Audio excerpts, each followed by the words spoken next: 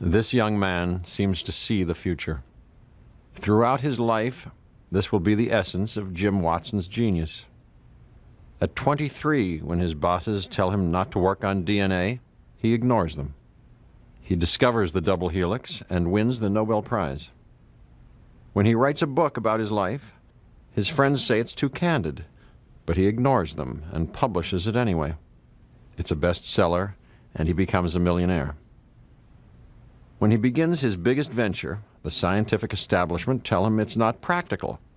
But he persuades the U.S. Congress to give him $3 billion, and now the human genome has been mapped. When it comes to the future of DNA science, nobody has a better track record than Jim Watson. But today, he has a vision of the future that many find disturbing, and some people wonder if this time his judgment has finally gone off the rails. I find myself, you know, realizing that most people don't want to hear important truths. And uh, so, for the most part, I don't try to annoy people. But some occasions, you just feel someone has to get up and say what you think. That offends people.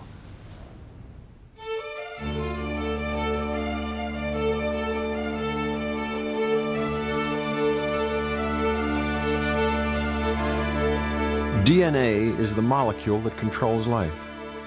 It's in every cell of every living thing. 50 years ago, almost no one knew of its existence. But today, the human race is unlocking its mysteries. And when you understand something, you can start to control it.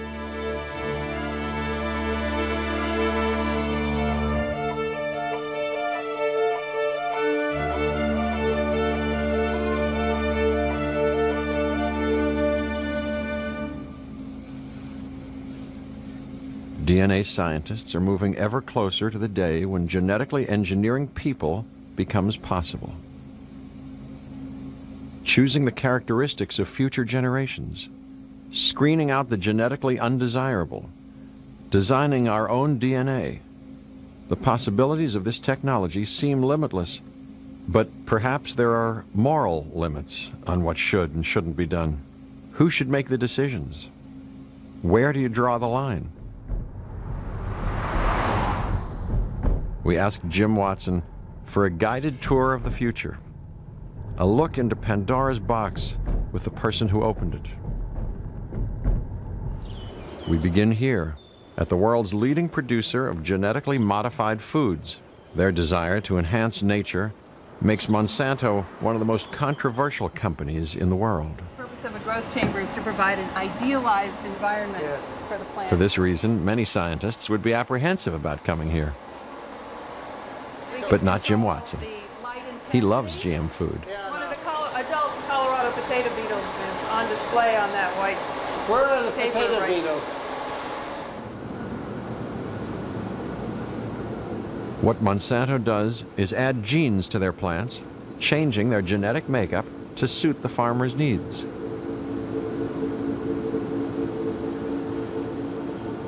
We have here uh, two cotton plants. This is what a cotton plant would look like in the old days. Sick and diseased, and uh, there's nothing you want to see here. A, and here's one which has been genetically engineered to uh, produce this protein which absorbs the insect guts and kills it, and kills it quite fast within a day or so. This is a perfect plant. and if you wanted, you know, an insect-dominated world, this is it. Uh, but this is, uh, you know, rational man's dominated world. And uh, to me, this is the future. What Watson knows is that what has been done in cotton and corn could one day be done in animals and people. But even Monsanto draws a line here. Okay, so they're not trying to do transgenic animals. No, we, uh, we, we In fact, they've made a series of public pledges about things they will not do. Just plants. And we won't put animal genes in plants. It, uh, it obviates the problem of is it still vegetarian or not? Oh, Jesus. Fortunately, bacteria have plenty of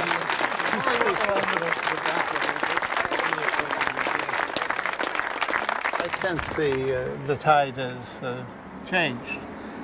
And uh, genetic manipulation will be more and more accepted. A lot of people don't want the world to be changed. But uh, we shouldn't be too upset. We just have to go on with our business.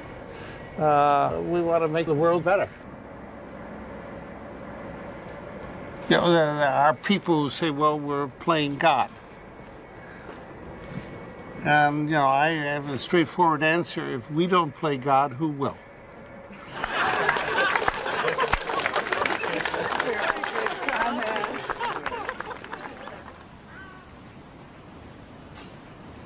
Watson has turned this picturesque harbor on the coast of Long Island into one of the world's leading genetic labs, Cold Spring Harbor Laboratories, of which he is president. Watson lives on the grounds and has a 20 foot statue of the DNA double helix in his front yard. He's built a bell tower capped by the four letters of DNA's genetic code. I know Dr. Watson would accommodate him whenever it would be convenient. This is Watson's office.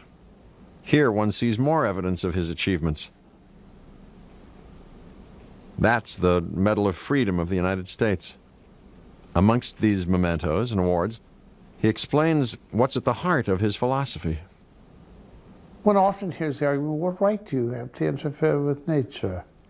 And, uh, but the nature out there isn't the product of a great design. No one's written a book. Uh, it's just evolution happening. And uh, this evolution depends on random changes in genetic messages, which make some organisms better able to survive and others not that able. Watson's science has shown that all living things are controlled by their DNA code. It's this four letter code that makes not just plants and animals, but people too. And Watson believes that random changes in this code largely determine who we are and what we are able to do. Some are too short, some are too tall, some are too fast, some are too thin. So nature can be pretty cruel. Weather can be cruel.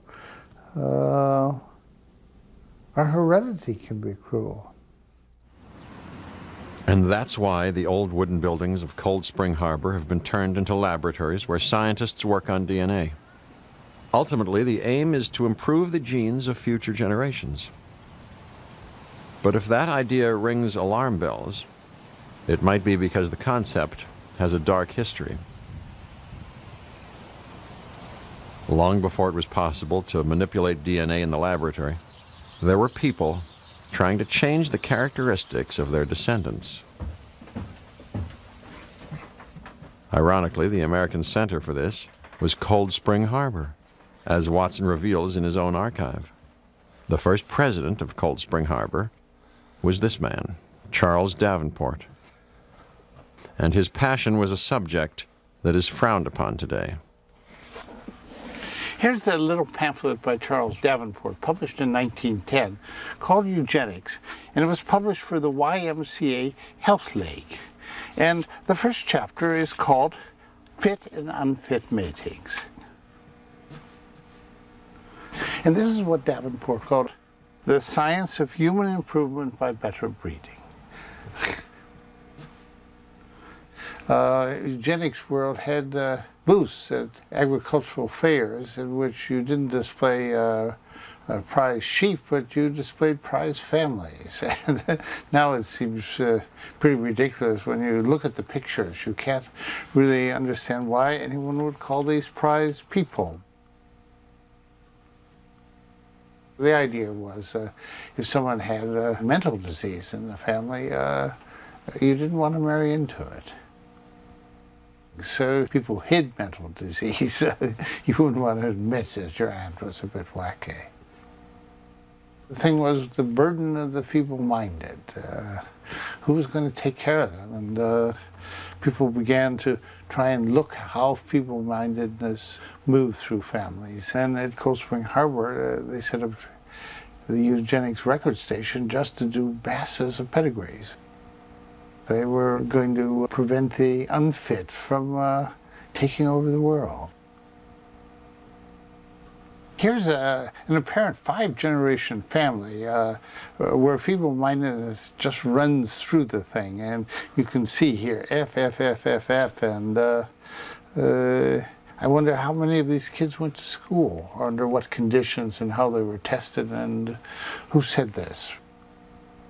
But this was the sort of thing which affected social policy. The legislatures, who really didn't understand the science or the, the strength of it, passed laws to uh, sterilize the unfit. Incredibly, as a result of Davenport's eugenics, 40,000 women were forcibly sterilized in the United States. Watson thinks he has an insight into how that could have happened. Most people now don't remember when there were the massive mental hospitals uh, throughout the country, throughout, in fact, the uh, civilized world. There was no treatment for mental illness. The people went into them, they never left. And uh, uh this was, you know, eugenics was, I think, the response to these large hospitals. This makes Watson more forgiving of the early eugenics movement than most. It sounded like a good idea, and it wasn't. I don't regard Davenport as a, an evil man. By the end of his life, you can say he did dreadful science, and uh, they were sort of telling the people there was science behind it, and there wasn't science. There was just uh, some unfit people, and how do you handle it? In Watson's mind, this chapter of eugenics shows the harm that can be done when governments try to control the gene pool. As it turned out, enough people in America were against the policy and Davenport's work was stopped. By the time the 1930s arrived, many people effectively thought Davenport had lost his bonkers. You know, eugenics was just silly prejudice. Uh, unfortunately, as it lost favor in the United States, uh, Hitler came to power in Germany and uh, liked very much the ideas of the unfit, and uh, he wanted to get them out of German life. Watson has his own kind of eugenics, based on his DNA science. But he feels that people are prejudiced against it because of one other way eugenics was put into practice in the past.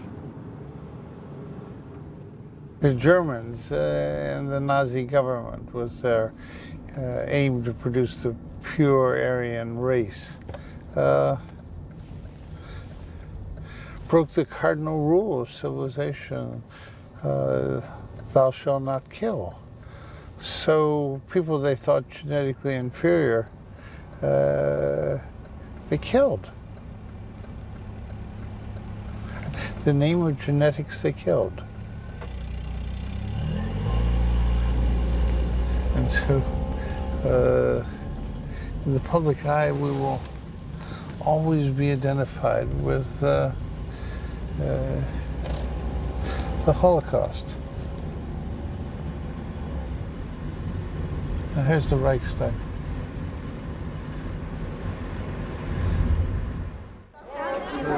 Jim Watson is drawn to Germany. He's come here many times. Of all the countries on Earth, Germany is the most hostile to genetic science, probably as a reaction to its Nazi past. It's almost as though Jim is in a personal battle with Germany. Many Germans feel that one of the lessons of the Nazis is not to try to use genetics to improve the human race. But Watson feels they need to come to terms with their past and then move on to embrace the new genetics. He says the idea that people are the result of their genetic code is a truth that cannot be ignored. When I walk down the street and think about my fellow human beings, I see all of them as products of that script. Uh, that, but the products of several billion years of evolution, where the script has become more and more refined, so it finally says human being. Uh, the imperfection is not any grand design. Uh, it's just a mistake. The scientific evidence on this is compelling. Already it's been shown that a single letter mistake in the genetic code causes diseases such as cystic fibrosis and thalassemia.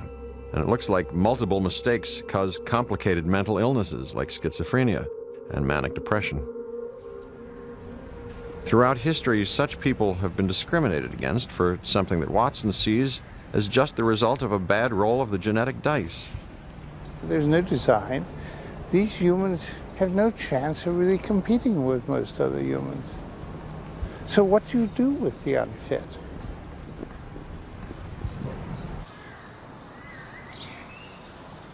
This is a mental hospital 60 miles outside Berlin. The place where the eugenics from Cold Spring Harbor was taken a stage further.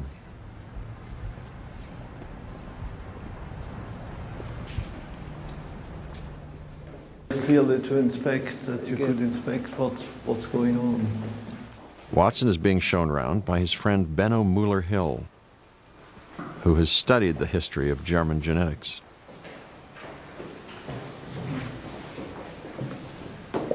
And that's right here. And you see it looks first, if you are, if you are innocent, you believe that this is in fact hot water which may come out of this, but no, no, carbon monoxide is coming out of here. 14,000 mentally ill people and disabled children were killed here in the name of eugenics. The, the dead bodies were then uh, taken out of here, and one could get them out of here into a room where there is at the moment just one dissection table, dragging them here on this on this on this floor.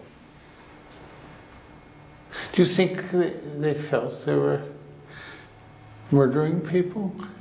They couldn't see anything wrong with killing uh, those incurable insane, and they had learned this in in in, in the medical. Uh, in the medical courses at the universities, and so they couldn't see anything wrong.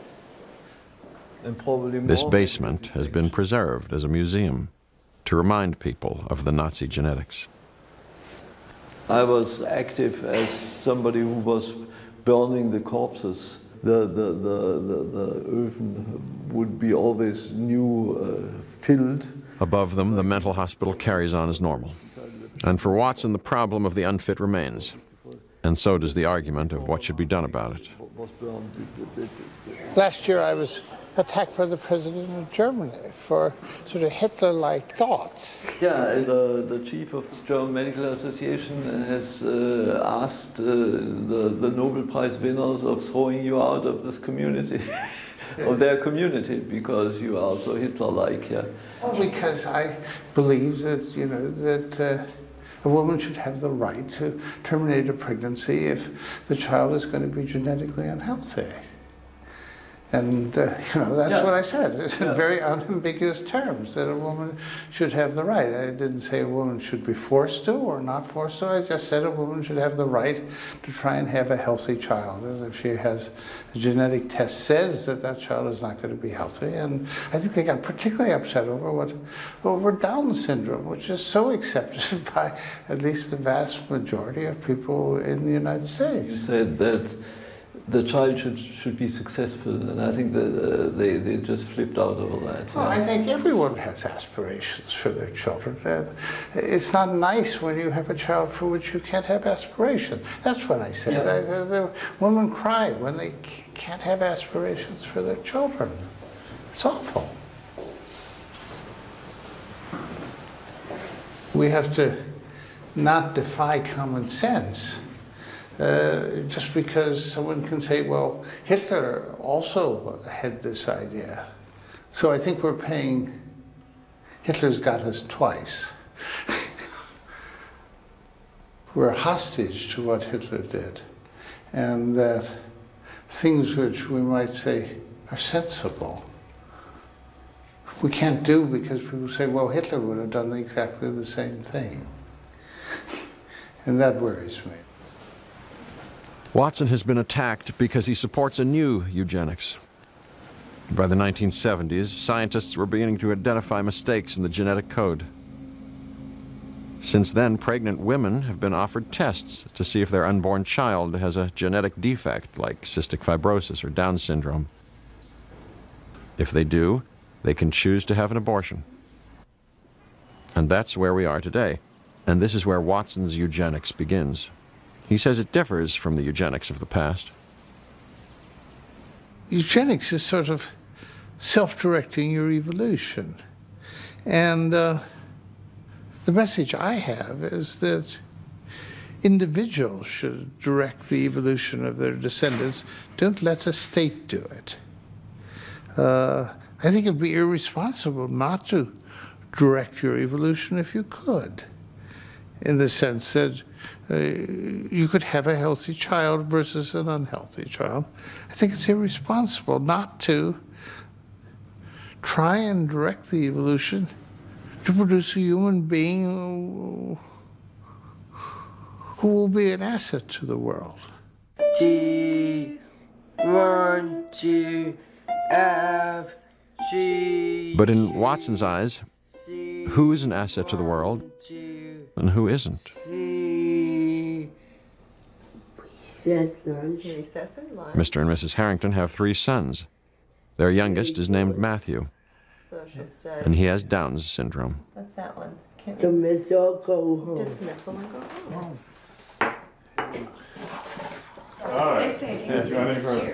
G.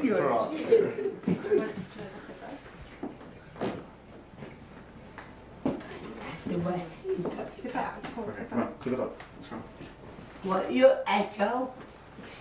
Echo? All of my pregnancies, we never had any genetic testing done with any of the boys. Uh, I didn't even occur to me there was a reason to do it. We just figured we were ready to have a family and we would have a family. Sure. Um, first son was born at the birth center. Peter was born at a hospital because I was overdue.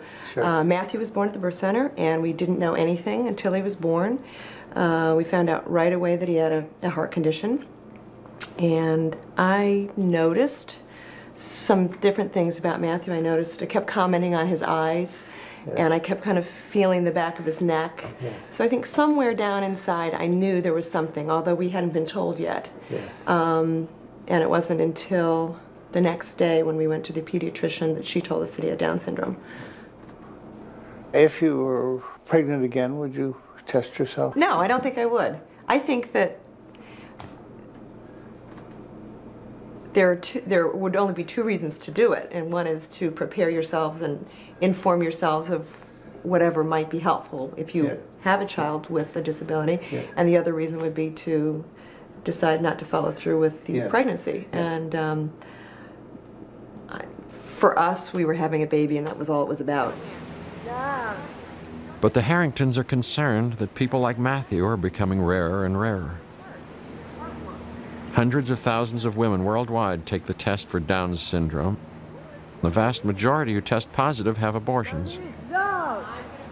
For Watson, this is the only way we have to eliminate the disease. For the Harringtons, it's the elimination from society of people like Matthew. So they ask that people think twice before making these decisions.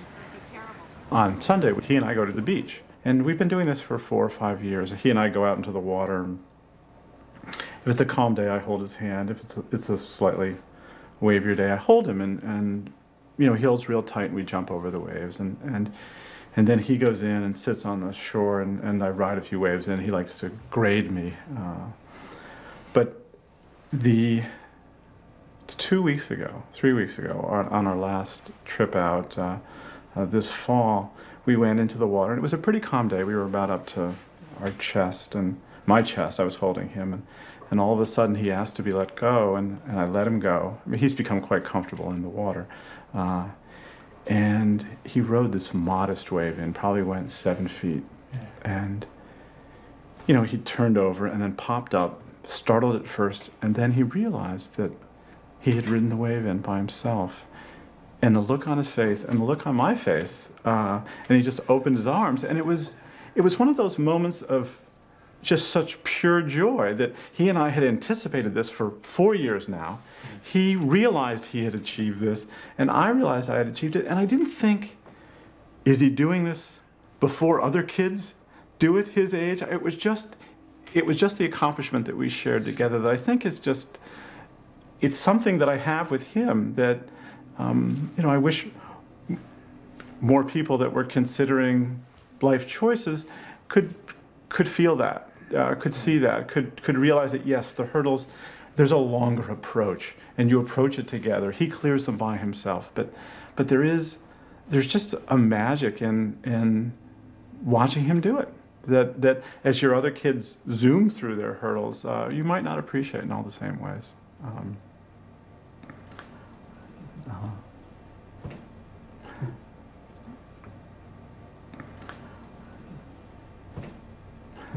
We have a, a son with uh, severe disabilities.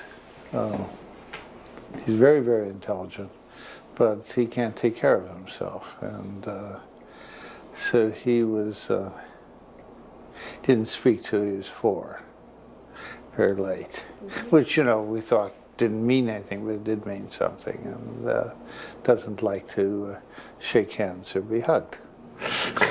We, we have a bit of the opposite in our house. you Yeah, no, and it's a, uh, That must be, have been very difficult. yeah, it is. And, uh, but if he can uh, get by the, that first initial barrier, then uh, he can be talk and quite charming and, uh, but uh, his sort of natural impulses to pull away from people.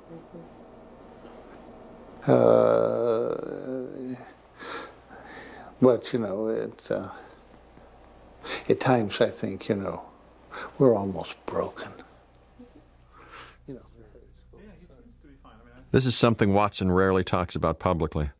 His son has a form of mental illness which is likely to have a genetic basis. When it comes to faults in DNA, almost everyone on Earth is touched in some way.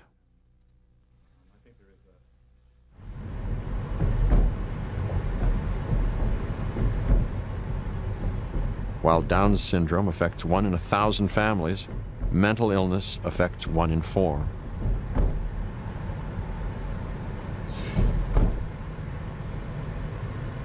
This is Pilgrim State Hospital.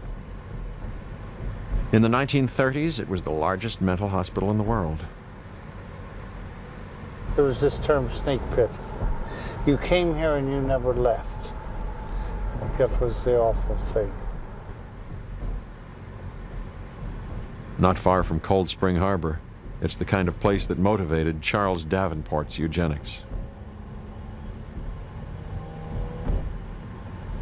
I find this very creepy. I just would like these buildings to be torn down. You can think of all the all the sorrow and agony.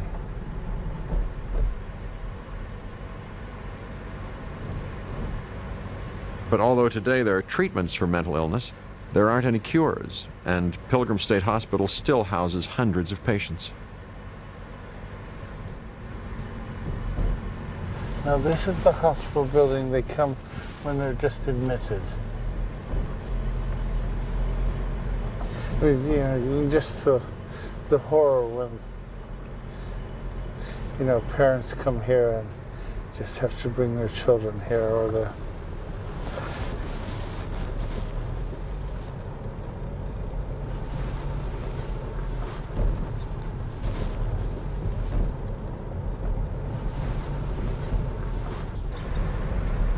we still don't know what's wrong with the people at the, uh, you know, you can say, uh, when you know cystic fibrosis, you know that uh, you know, there's a gene missing. But in mental disease, we don't have, we haven't found one gene yet where we can really say what's wrong. And it was this desire to find the genes that caused mental illness that took Jim Watson all the way to the United States Congress to ask for the $3 billion necessary to map the human genome. And now it's done. This work enables scientists to read through the entire genetic code that makes a person. Now they can search for any human gene. they're moving beyond simple genetic mistakes that cause Down's syndrome and cystic fibrosis to more complex traits. They will pinpoint the genes responsible for everything in our nature, whether we're likely to be gay or straight, fat or thin, suffer from depression, or have a high IQ.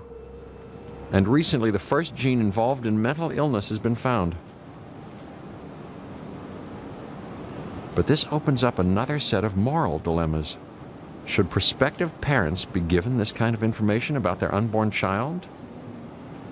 And where do you draw the line?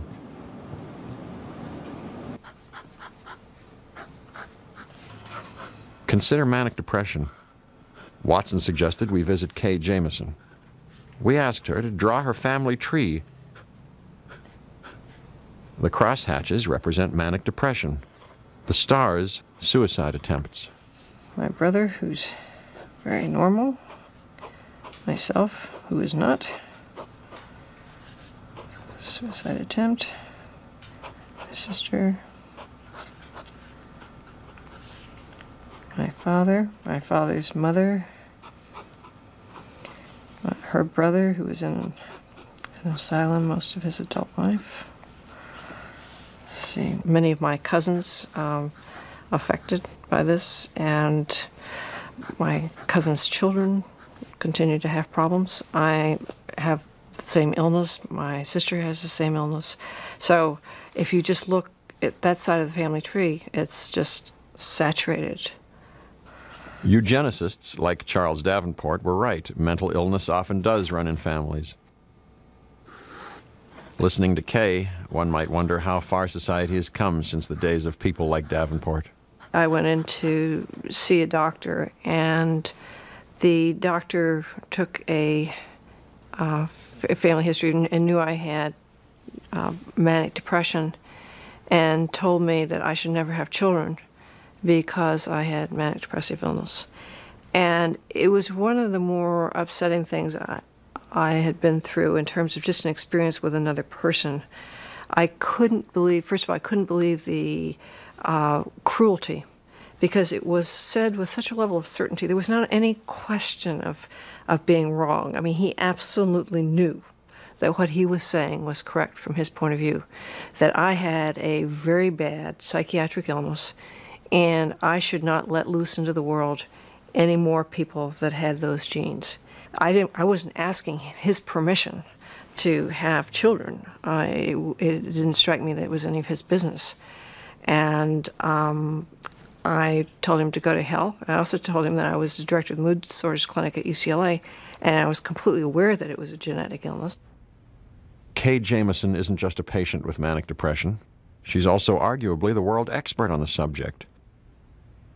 She's a psychologist and has written the definitive textbook on manic depression, as well as a best selling autobiography about her experience of the illness. She knows. When people assault your genes, um, it's, it's just like saying you, you ought not to have been born. One of her recent books examines the link between manic depression and creativity. When you're talking about genius, I think you're talking about people who are, by definition, it's a very unusual set of circumstances to, that leads to that kind of mind and ability. So, does Watson's way take into account the positive sides of something like manic depression? I think it's something that's it's a hard argument.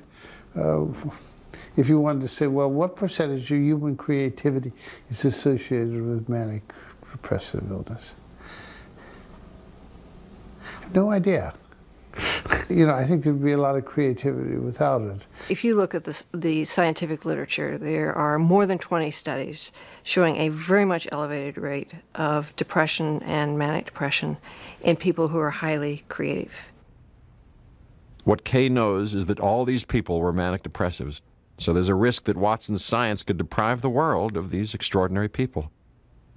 Watson argues that this doesn't make up for the misery that goes with it. This is sort of saying uh, what's more important, what's good for the country or what is good for the individual. And uh, my way was always asking what's good for the individual. I mean, uh, you know, someone would say, well, our society would be greatly impoverished if there were no homosexuals. But would you make someone be born homosexual because uh, they're good for society, knowing uh, the difficulties it's likely to impose in their lives? Uh, I certainly wouldn't use that argument. I, uh, yeah, I would go back to it. I don't see how you could decide the answer, and best to let parents decide. Uh, I think most families that have manic depressive disease would decide to have children without it. So that's about all. You know, it, it's a terrible curse. I think that parents will be diverse in what they choose. I think if I thought every parent would come down with a decision not to have any manic depressive illness floating around in the genes, I would find that disturbing because I do think that diversity is important. For Watson, whether manic depressives become an endangered species will depend on the parents of the future. And he asks Would you want a child who could be highly creative but might be suicidal? Or would you just want to ensure your child was healthy?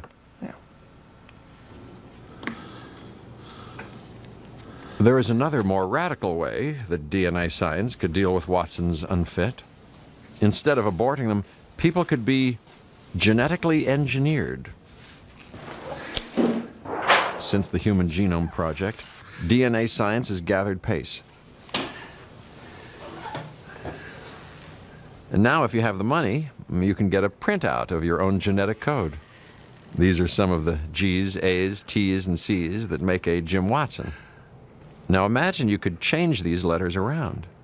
Maybe people could even make themselves more intelligent or better looking. But should science be used in this way? This is what the scientists call the question of enhancement.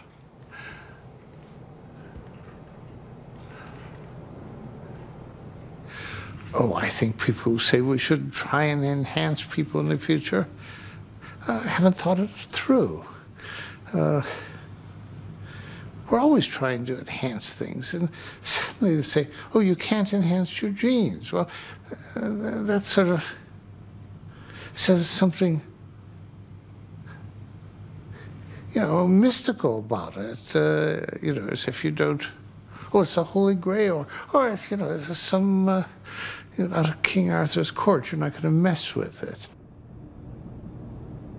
That might sound like science fiction, but not if you meet one of Jim's former students, the next generation of DNA scientist, Mario Capecchi. Uh, Jim was a very important influence on my life. Literally, we live in the future and we imagine things and we dream about things. He has his own billion dollar enterprise, the genetic enhancement of mice. And the reason he does that is to develop the technology for use in people. The process begins with this machine. The bottles at the bottom are full of the ingredients of the genetic code because this machine can make DNA. This is an automatic DNA synthesizer, and what you can see here are the nucleotides A, G, C, and T. And so, what this machine can do, we can program it to put in, uh, as we're synthesizing the DNA, we can put specifically put in A at this position, then a C at the next position, and a T, and so on, and then thereby resynthesize a part of a gene. And so, in essence, we have the capability of changing the genome in any way we see fit. He then has another machine that incorporates the new piece of DNA into the mouse cell. We put an enormous voltage jump on this, and in the process, what happens is that the uh, little holes are opened up in the cells, and the DNA slips into the cells and then goes into the nucleus and then participates in making the DNA of the mouse. In this way, he can change the mouse embryo when it's just a small cluster of cells, and then observes how the new DNA affects the way the animal forms. Will it affect the growth of cells? Will it affect making particular bones, or will it affect making the muscle or the tendons in that uh, in that limb, or will it affect all of those? This is one of the best ways to study what specific genes actually do. He sees how the new DNA affects the embryo, how it changes the adult mouse, even how it alters the mouse's offspring as the change is passed through generations. This mouse has had a gene switched off so it cannot move its face muscles. It cannot blink. Now that might sound cruel, but Mario Capecchi does this because there are children who are born without the ability to move their face muscles, and his research is designed to look for a cure. The amount of knowledge that we get by studying the function of a gene in a living organism is enormous. I mean, uh, most of our previous knowledge, we, had, we were off completely as to what a gene is doing in a living organism. And the only way to find out is actually to alter it and see what happens. Genetically, uh, mice and humans are almost identically. That is, the 99.9% uh, of all the genes in a mouse and a human are going to be the same. So whatever actually we learn in a mouse is going to be directly applicable to humans. The technology that he's using to do this could have another application. Just as Dolly the sheep has opened the door to human cloning, Mario's mouse shows the way towards human enhancement. But if the technology were to be used in this way, would science have crossed the threshold of what's acceptable? Most agree that Mario's work should be used to cure illness, but many question trying to use it to make us more intelligent. However, Watson doesn't see a clear distinction between the two. By saying healthy, your brain is also healthy. And if you really are stupid, I would call that a disease. Stupidity is, you know, a disease of the brain. The lower 10% who really have difficulty, you know, even in elementary school. What's the cause of it? Uh, a lot of people would like to say, well, it was, you know, poverty and things like that, but it probably isn't. And uh, so I'd like to get rid of, you know, help that lower 10%. Does Watson draw the line anywhere? How about more cosmetic changes, making people better looking? You know, everyone's saying it would be terrible if we made all girls pretty. Okay? well, I think it'd be great. And it's those kind of comments that make some people think that Watson's judgment has gone off the rails. They argue it would be crazy to make such changes to our DNA, lumbering generations to come with our current cosmetic preferences. But before discounting his views, one should hear what else Capecchi is planning. He's turned his attention to chromosomes. Our DNA is wrapped up into 23 different sets, which carry our genetic traits from one generation to the next. Capecchi doesn't want to tamper with any of these. He's thinking about making an extra artificial chromosome. It would carry a bundle of genetic improvements, which he could switch on and off, just like he does in mice.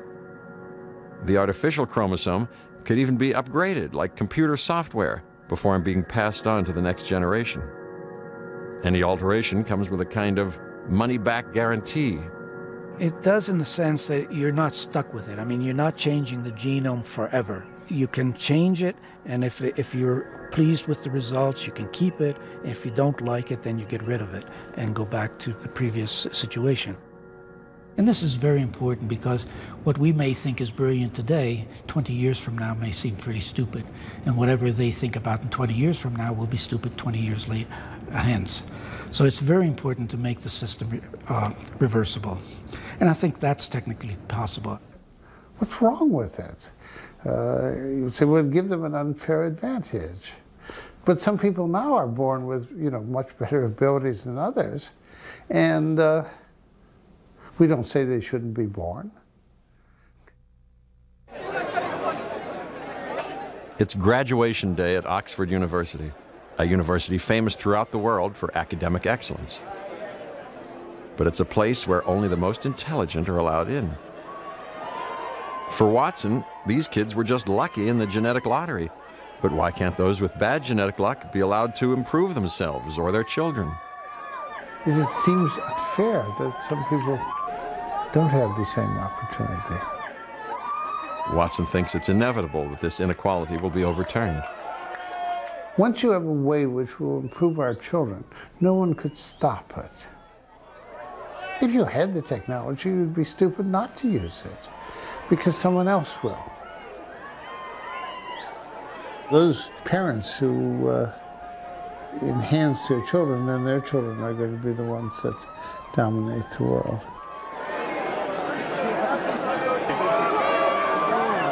Good to see you, man. I can see anything.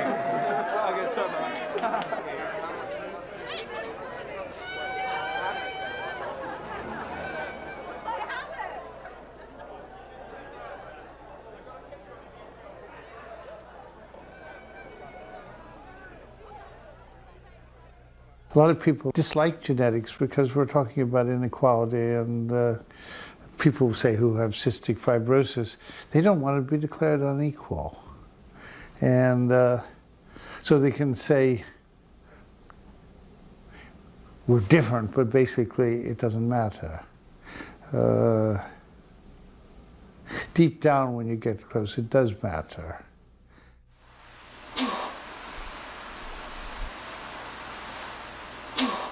Cystic fibrosis is just one of 5,000 genetic disorders that have so far been identified.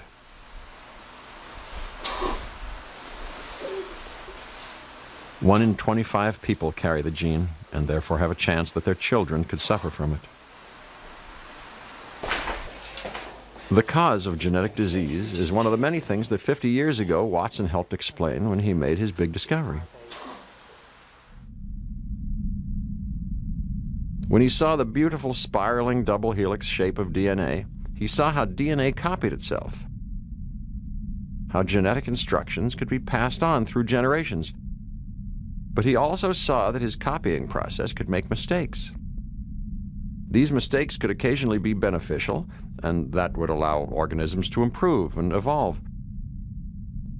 But the majority of the copying mistakes were detrimental, the cause of genetic disease. That's the theory. But today, Watson is more concerned with the practical. The final place Watson wanted to take us on his tour of the future looked like just another lab. In these two sections of the lab, it's mainly movement disorders and neurodegeneration. That's where um, a lot of patients in clinics uh, above the age of 50 start developing tremor. So we have a clinical senior scientist. This is Kay Davies, and this is her lab in Oxford, a place where they look for cures for a variety of different genetic diseases. Design a, a treatment. She has a team of scientists and all the latest equipment. Uh, so all of this is genetic analysis by now. It's an expensive operation, and it's supported by the fundraising of Jim Watson. Uh, but it would also fund things like the PCR machines, which amplify the DNA several millions of times. So we can take a small sample and then analyze it because we can, we can copy it lots of times and then get enough of it to look at the details. For Watson, labs like these are the culmination of a lifetime's work. What we're talking about is what's real diseases, really serious diseases that we have an opportunity to do something about. Serious diseases no child should be born with. There's no purpose to, you know, it's all Darwinian. There's been, you know, selection of those uh, the fit and then constant generation of new variability. That's it. There's always new variability. There would be no new variability, there'd be no evolution. But the price of this variability is some people are born with variability which is no good. You know, what I call genetic injustice. And uh, what the world of human genetics is trying to do is to reduce the level of injustice. It's uh, not out to create the perfect human or anything like that. It just sees this form of, just like any form of injustice, uh, is corrupting if you accept it. so we can't accept it. And that's ultimately why Watson wants to play God. But while he argues for forging ahead, even some of his allies have reservations about controlling our evolution.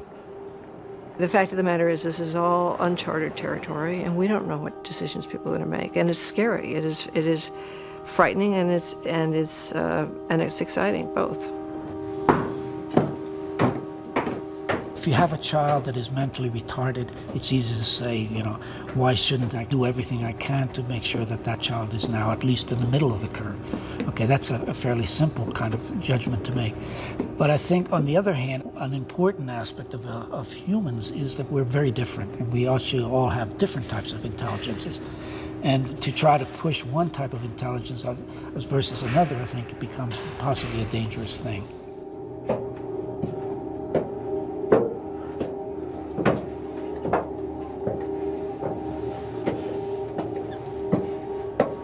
I love the fact that we are as diverse a species as we are. I love the fact that we have such a diversity of temperaments and such a diversity of intellectual styles and ways of seeing the world and ways of going through the world. And I don't want to start narrowing that range. Um, I don't want to give people a sense that they have to start narrowing and narrowing and narrowing and producing kind of little vanilla children. It's a kind of a, a ghastly thought.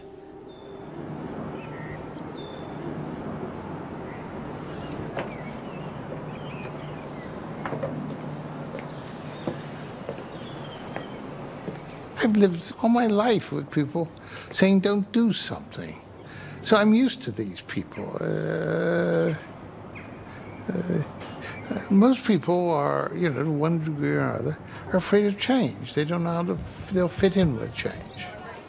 I think you often have to move in directions where if there was a majority of vote, they'd be against it because they don't really know what you're trying to do. And uh, there isn't time to convince them.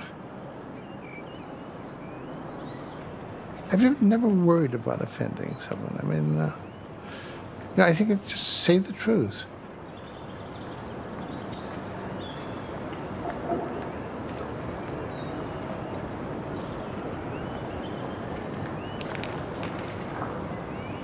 Jim Watson has always been controversial. It's probably in his DNA. But perhaps his most powerful defense of his science rests on the potential good it could do. Scientists, uh, doctors are the people who are going to do the miracles of the future. Uh, let the lame walk, uh, stop the cancers, uh, restore sight. Uh, it's all sort of within our vision. And uh, so I don't worry that, you know, some people say we're playing God. But that's an awfully good thing to do because people are looking for gods to do good things. In our last interview with Watson, we asked him how he would like to be remembered.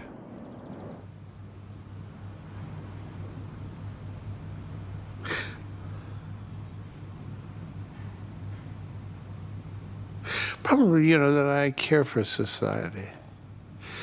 And uh,